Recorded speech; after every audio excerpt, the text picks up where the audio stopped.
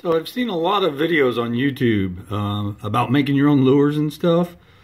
But I saw one particular video on one of my favorite channels I watch. Uh, the channel is called Fishing and Stuff. I'll put the link in the description. Anyways, on his channel, he showed how to make lures out of some everyday inexpensive stuff. Well, this kind of intrigued me so what I did is I made some of the lures that he showed on his video. I went and got some split rings and I went and got some treble hooks. And I made a spoon out of an actual spoon.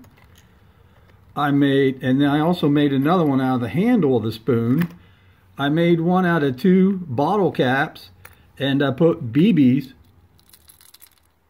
in the tail bottle cap so it'll rattle.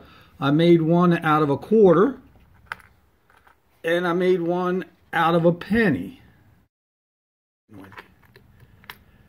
So I made one out of a penny also. And I made one out of just a cheap spinner blade I had laying around.